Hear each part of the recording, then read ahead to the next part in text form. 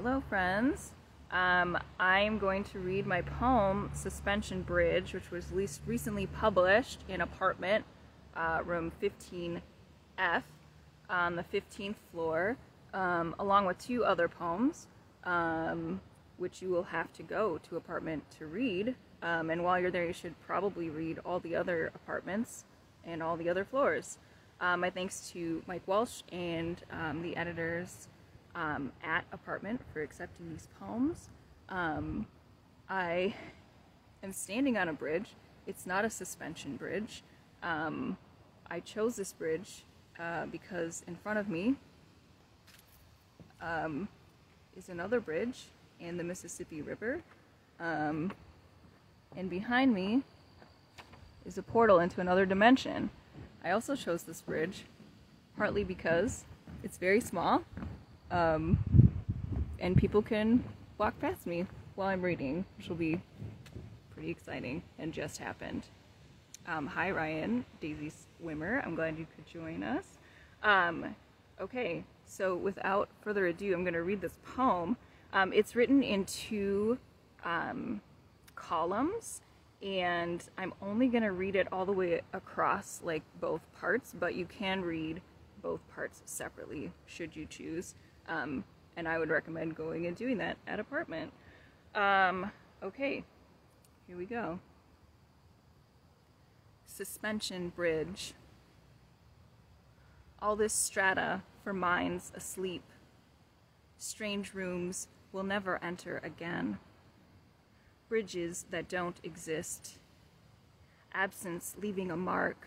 We're not sure if we remember or not forest fires thick enough, we breathe smoke for weeks. We can't remember. Smoke blots the sun. We blot our minds as we bar a door when danger moves behind us. Slabs of quarried limestone stand monolithic. We stare a long time. To discern the remnants, our eyes follow upward, our pylons I yell, Trochee! But the river's roiling mutes my voice. Carved names relieve the rock.